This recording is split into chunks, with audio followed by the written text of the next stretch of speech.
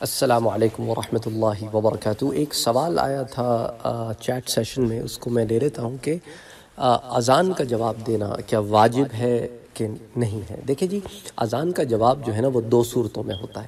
ایک تو قولی ہے اور ایک فعلی ہے۔ یعنی ایک آپ اپنی زبان سے ادا کر رہے ہیں اور ایک آپ اپنے فعل سے اس کا اظہار کر رہے ہیں۔ اب جس شخص نے اذان سنی، تو اذان کے جو الفاظ مؤذن کہہ رہا ہے، انہی الفاظ کو ریپیٹ کرنا، یہ ایک مستحب عمل ہے۔ مستحب عمل ہے، واجب نہیں۔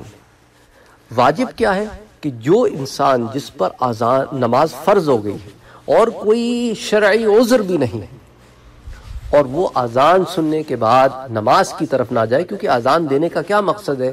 کہ جماعت کھڑی ہونے والی ہے، نماز کی طرف آؤ، اور وہ پھر نماز کو اگنور کرے، تو وہ ایک واجب کام کو اگنور کر کے گناہ گار ہو رہا ہے۔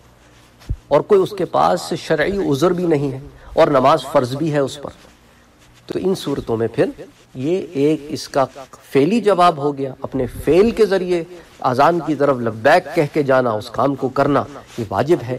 اور قول کے ذریعے موزن کی آزان کا جواب دینا، یہ ایک مستحب عمل ہے۔ تو امید کرتا ہوں کہ اس سے آپ کے سوال کا جواب آپ کو مل گیا ہوگا۔ السلام علیکم ورحمۃ اللہ وبرکاتہ۔